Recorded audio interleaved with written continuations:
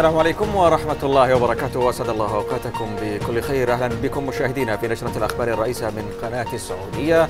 أحييكم أنا أحمد الزاهد. وتحية لكم مني أنا سمر حمد ومن زميلنا في لغة الإشارة علي الهزاني والبداية بالعناوين.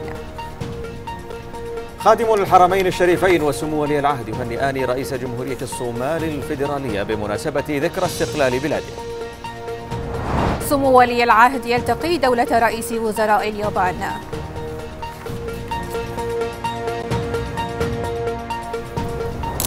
وسمو ولي العهد يزور متحف هيروشيما التذكاري للسلام.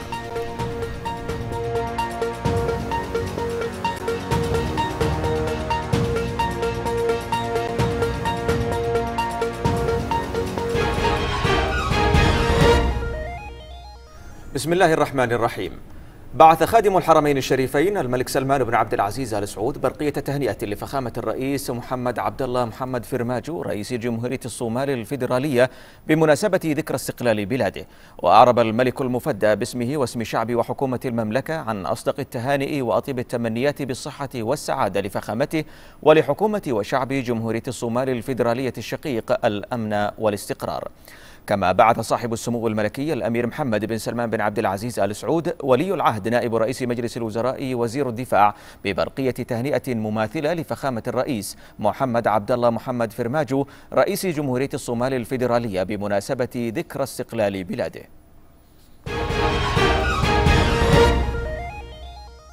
التقى صاحب السمو الملكي الأمير محمد بن سلمان بن عبد العزيز ولي العهد نائب رئيس مجلس الوزراء وزير الدفاع اليوم دولة رئيس وزراء اليابان شينزو آبي في مدينة أوساكا اليابانية. وقد عقد سمو ولي العهد ودولة رئيس الوزراء الياباني اجتماعا رحب في بدايته دولة رئيس الوزراء اليابانية بسمو ولي العهد معربا عن شكره لسموه على مشاركته في أعمال قمة قادة دول مجموعة العشرين في أوساكا والمساهمة في إنجاحها وأشاد دولته بما تشهده المملكة من تقدم وفق رؤية المملكة 2030 لافتا إلى حرص حكومة اليابان واستعدادها من خلال القطاعين العام والخاص لتقديم المزيد من الجهد والتعاون من مع المملكة.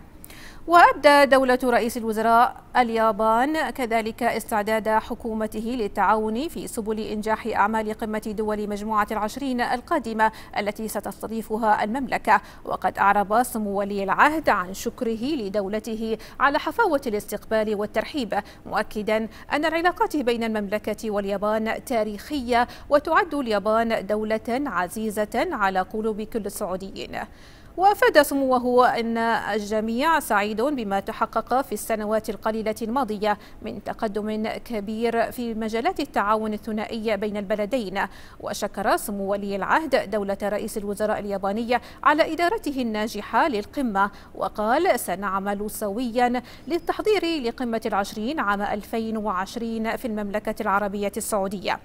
بعد ذلك جرت مناقشة آفاق التعاون بين البلدين الصديقين وفق الرؤية السعودية اليابانية 2030 وبخاصة في المجالات الاقتصادية والتجارية والاستثمارية والثقافية وسبل تعزيز العلاقات الثنائية.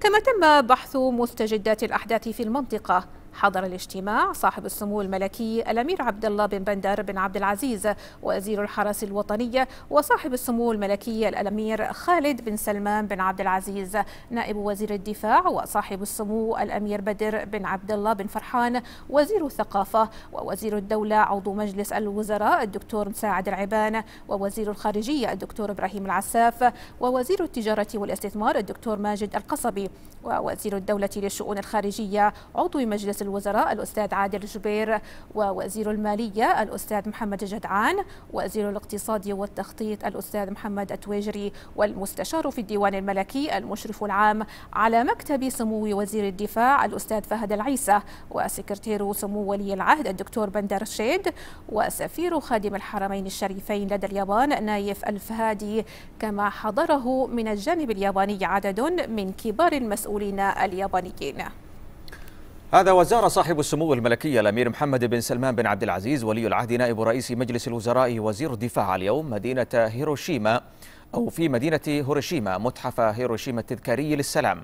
وتجول سموه في أرجاء المتحف حيث شاهد عرضا مرئيا لمدينة هيروشيما قبل القصف بالقنبلة الذرية إبان قصفها بالقنبلة. في عام 1945 وما خلفته من دمار شامل. كما شاهد سموه صورا تبين تاريخ مدينة هيروشيما في السابق وخلال الحرب العالمية الثانية وبعد القصف بالقنبلة الذرية. عقب ذلك توجه سمو ولي العهد إلى صالون المتحف حيث التقى إحدى الناجيات من القنبلة. كما وقع سموه في سجل زيارات المتحف.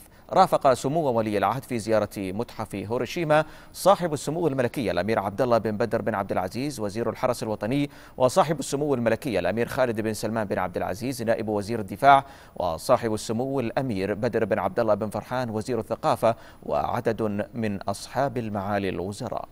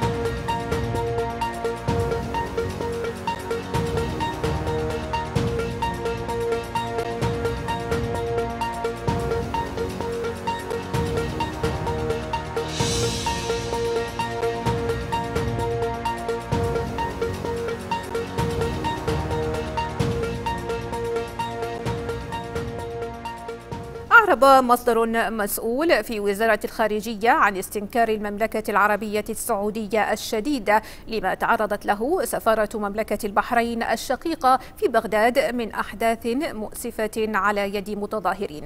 وشدد المصدر على أن المملكة وهي تعرب عن إدانتها لهذه الأحداث التي تتنافى مع أبسط قواعد الأعراف الدبلوماسية وتخالف كافة المواثيق والمعاهدات الدولية ذات الصلة ترحب في الوقت نفسه بموقف الحكومة العراقية من الاعتداء المرفوض وما اتخذته من إجراءات لتوفير الحماية اللازمة لتأمين سلامة البعثة البحرينية.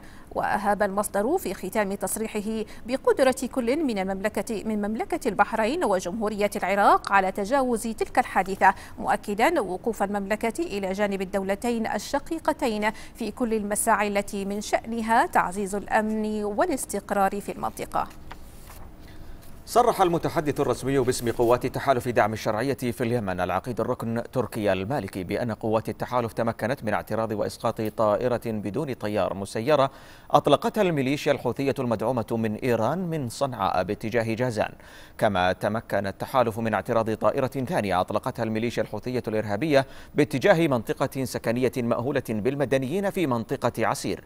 وأوضح العقيد المالكي أن الأداة الإجرامية الإرهابية الحوثية مستمرة في إطلاق الطائرات بدون طيار لتنفيذ الأعمال العدائية والإرهابية باستهداف المدنيين والمنشآت المدنية ولم يتم تحقيق أي من أهدافها ويتم تدميرها وإسقاطها.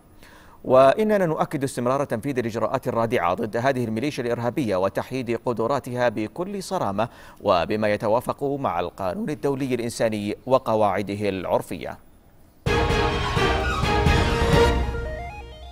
افتتح صاحب السمو الملكي الأمير فيصل بن فهد بن مقرن نائب أمير منطقة حائل مهرجان وفعاليات جب جيل الطيبين. ويرمز هذا المهرجان إلى جيل الثمانينيات والتسعينيات من القرن الماضي. تفاصيل أوفى في التقرير التالي. انطلق في منطقة حائل مهرجان وفعاليات جيل الطيبين في مقر نادي الطائر الرياضي.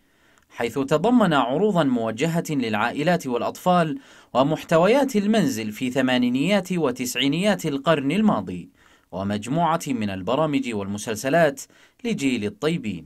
فعالية طويل العمر هي كلها عن جيل الطيبين تربط بين الآباء والأطفال. يعني لما يجيك الواحد أبوه جاي هنا ويشوف الأشياء القديمة كلها بين الثمانينات والتسعينات هذه الأشياء.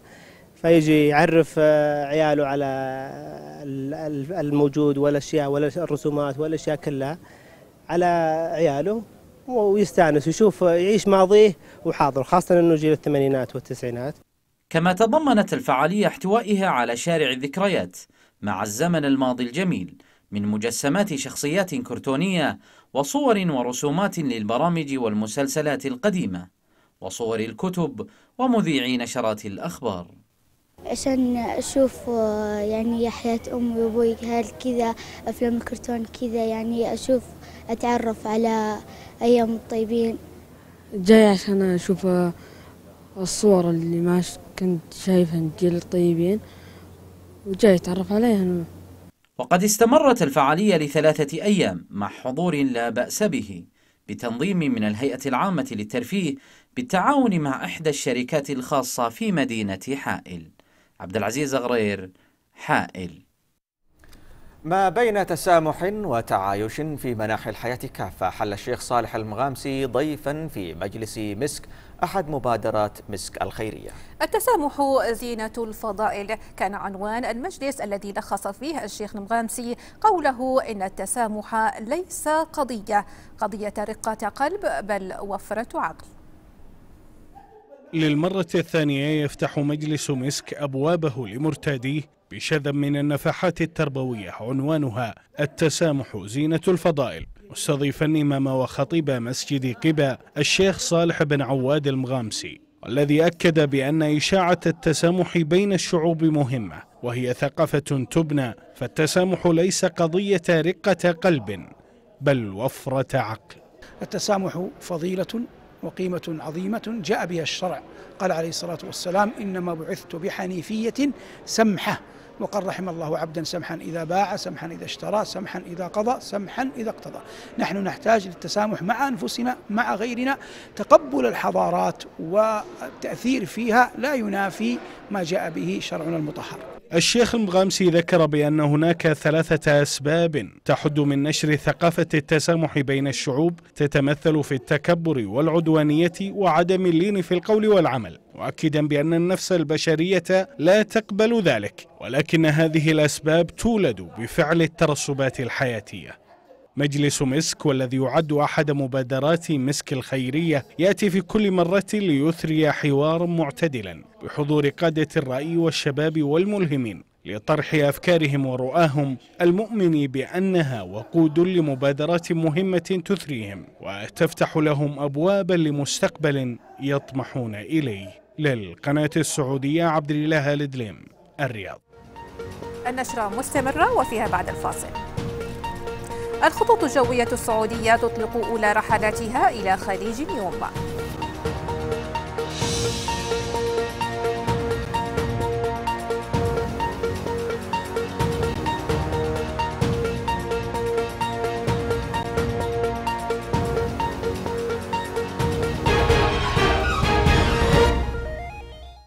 أهلا بكم من جديد. أطلقت الخطوط الجوية العربية السعودية اليوم أولى رحلاتها إلى مطار خليج نيوم الواقع بمدينة شرم ويعد مطار نيوم واحدا من أحدث وأهم المطارات في منطقة الشرق الأوسط وأميزها جغرافيا نظرا لوقوعه, لوقوعه على حدود ثلاث دول هي المملكة والأردن ومصر.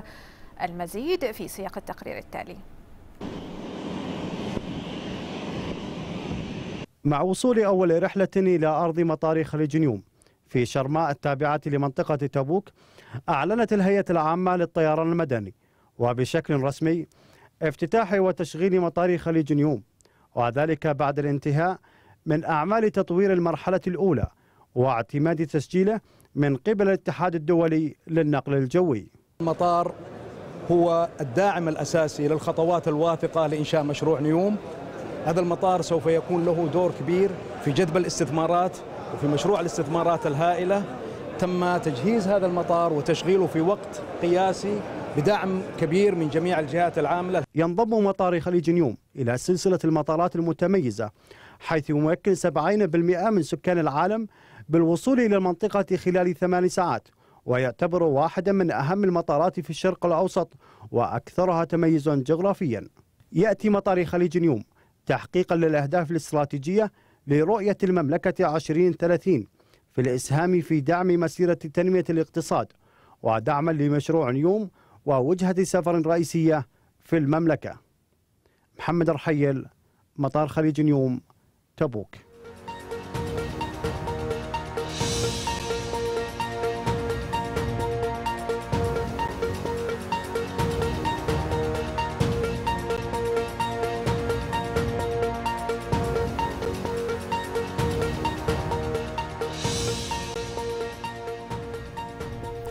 تشارك المملكة في الدورة السابعة عشر من معرض أبو ظبي الدولي للصيد والفروسية.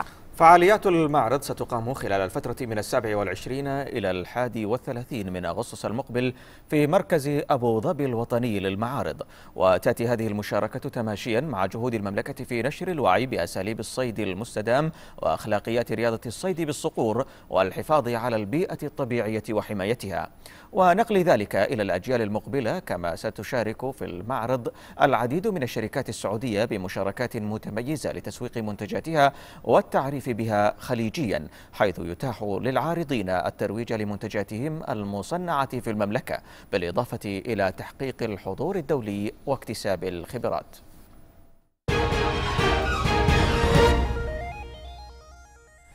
دمرت طائرات التحالف العربي عددا من المواقع العسكرية التابعة لميليشيا الحوثي في مديرية كتاف شرق صعدة ما أدى إلى تدمير آليات تابعة لهم ومقتل عدد من عناصر التمرد. هذا وسيطر الجيش على عدد من المواقع في مديرية باقم بصعدة عقب مواجهات ضارية مع ميليشيا الحوثي الإرهابية أسفرت عن وقوع قتلى وجرحى في صفوف الحوثيين ومن جهة أخرى تواصل ميليشيا الحوثي انتهاكها للقوانين الدولية وذلك بزرع الألغام والعبوات الناسفة في المناطق المدنية.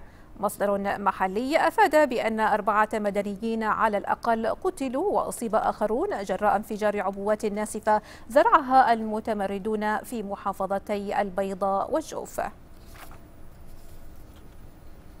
دعا نائب رئيس المجلس العسكري الانتقالي السوداني محمد حمدان دقلو إلى اتفاق عاجل وشامل مع قوى الحرية والتغيير.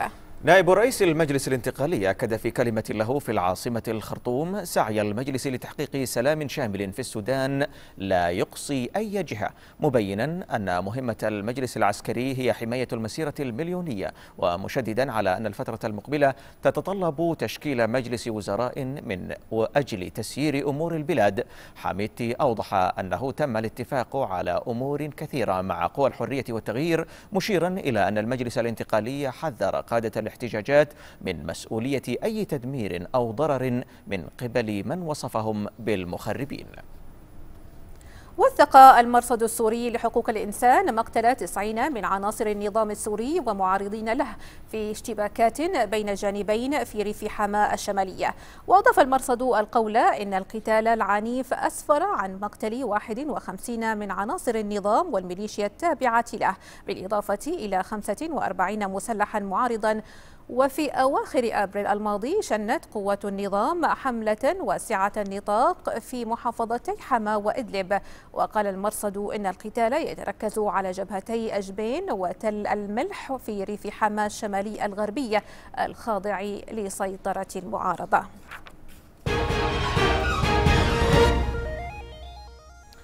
اتفق الرئيس الأمريكي دونالد ترامب والزعيم الكوري الشمالي كيم جونغ أون خلال اللقاء الذي جمعهما في المنطقة منزوعة السلاح بين الكوريتين على استئناف المفاوضات المتوقفة بين بلديهما. الاتفاق المبدئي يقضي بتشكيل مجموعتي عمل تمثل الجانبين. نتابع. أصبح دونالد ترامب أول رئيس أمريكي تطأ قدمه أرض كوريا الشمالية عندما التقى بزعيمها كيم جونغ أون في المنطقة المنزوعة السلاح بين الكوريتين يوم الأحد واتفق معه على استئناف المحادثات النووية المتوقفة. وعبر ترامب برفقة كيم خطا عسكريا لترسيم الحدود إلى الشطر الشمالي من المنطقة الأمنية المشتركة التي يقوم جنود من الكوريتين بدوريات فيها. ومرة أخرى يعكس اللقاء حالة الألفة بين الزعيمين وجاء بعد تغريدة وليدة اللحظة كتبها ترامب على تويتر وقال كيم إنها أصابته بالدهشة. لكنهما لم يقتربا من تضييق الهوة بين مواقفهما منذ انهيار قمتهما الأخيرة في فيتنام في فبراير شباط. وبعد لحظات عادا سويا وعبرا إلى كوريا الجنوبية وانضم لهما الرئيس الكوري الجنوبي مون جي إن في حوار قصير ليصبح ذلك أول لقاء على الإطلاق يجمع الزعماء الثلاثة. وعقد ترامب وكيم اجتماعا مغلقا لما يقرب من ساعة. وقال ترامب بعد اللقاء إن الاجتماع كان جيدا للغاية مضيفا أن الجانبين اتفقا على تشكيل فرق لدفع المحادثات المتوقفة التي تهدف إلى حمل كوريا الشمالية على التخلي عن أسلحتها النووية. وقال إن السرعة ليست هي ما يريده. وقال وزير الخارجية الأمريكي مايك بومبيو إن جولة جديدة من المحادثات ستجري على الأرجح في وقت ما في يوليو تموز مضيفا أن وفد مفوضي كوريا الشمالية سيتشكل من دبلوماسيين بوزارة الخارجية.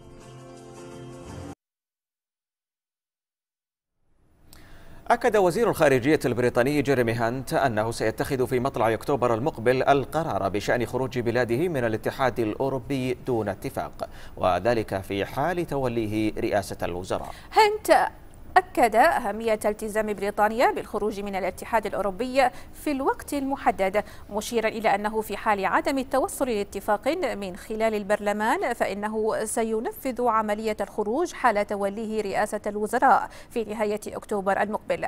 وحول التنافس مع وزير الخارجية السابق بوريس جونسون على خلافة تيريزا ماي في رئاسة الوزراء أكد أن الفارق ليس بالكبير بين المرشحين. هذا وتشير استطلاعات للرأي إلى تقدم جو إلى تقدم جونسون في, في الانتخابات المقبلة.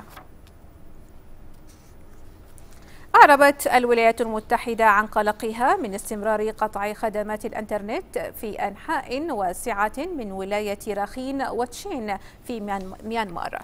المتحدثة باسم الخارجية الأمريكية مورغان أورتاغوس أكدت في بيان أن هذا الإغلاق أضعف الاتصال عبر الإنترنت لأكثر من مليون شخص.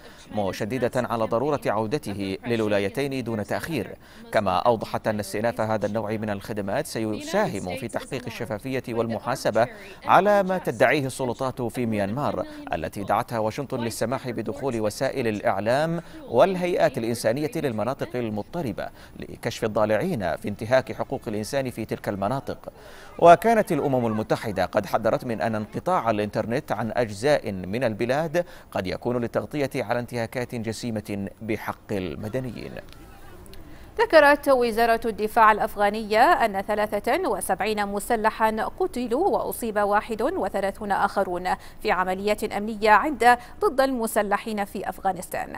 وأضافت وزارة الدفاع أن الطيران الأفغاني نفذ 22 غارة جوية لدعم القوات البرية التي تمكنت من اعتقال أكثر من 20 شخصا خلال العمليات العسكرية.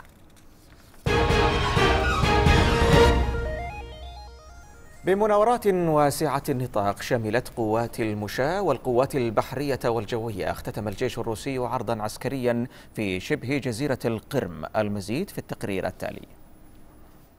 اختتم الجيش الروسي يوم السبت عرضا عسكريا سنويا في شبه جزيرة القرم التي ضمتها إليها بمناورات على نطاق واسع. شملت قوات المشاة والقوات البحرية والجوية. وتمكن سكان مدينة سيفاستوبول الساحلية من الاستمتاع بالعرض والمناورات العسكرية التي شاركت فيها سفن حربية في الخليج إلى جانب الاستعراضات الجوية التي قدمتها الطائرات الحربية النفاثة وطائرات الهليكوبتر. كما استعرضت فرق المشاة مهاراتها في الفنون القتالية والعمليات الأمنية. ومعرض أرمي 2019 هو حدث سنوي يقام في مختلف المدن الروسية ويستعرض أحدث ما توصلت إليه الصناعة العسكرية في روسيا وأذربيجان وأرمينيا وروسيا البيضاء والهند وكازاخستان إلى جانب الصين وباكستان وتايلاند وتركيا وجنوب أفريقيا. ويشهد المعرض عروضا عسكرية ويستضيف مؤتمرات حتى الأحد الثلاثين من يونيو حزيران.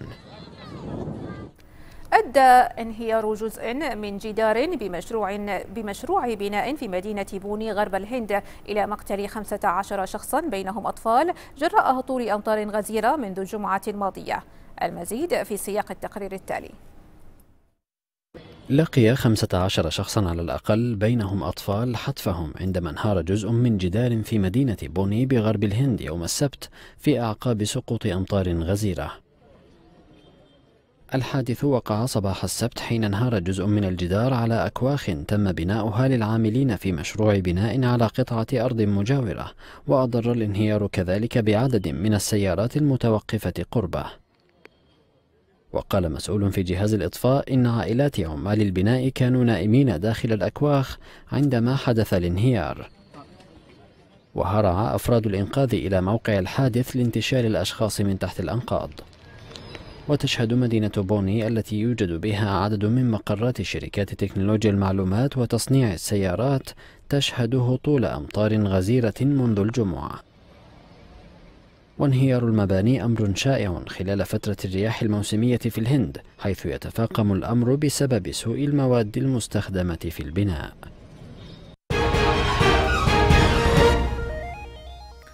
أطلقت هيئة الرياضة برنامج ابتعاث للمواهب في كرة القدم بحضور صاحب السمو الملكي الأمير عبد العزيز بن تركي الفيصل رئيس مجلس إدارة الهيئة العامة للرياضة رئيس اللجنة الأولمبية العربية السعودية. وتم خلال المؤتمر الكشف عن تفاصيل البرنامج والآلية التي سيتم اختيار اللاعبين بها وابتعاثهم للخارج للاحتكاك بالخبرات الخارجية تحت إشراف مجموعة من الخبراء والمتخصصين العالميين الذين سبق لهم الإشراف على أكاديميات كروية ناجحة. النشرة انتهت وهذا تذكير بعناوينها خادم الحرمين الشريفين وسمو ولي العهد يهنئان رئيس جمهورية الصومال الفيدرالية بمناسبة ذكرى استقلال بلاده. سمو ولي العهد يلتقي دولة رئيس وزراء اليابان.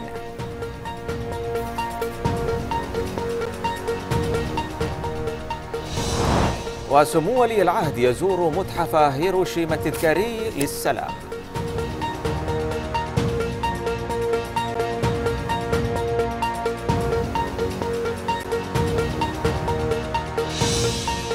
مشاهدينا شكرا لكم على طيب المتابعة. في أمان الله.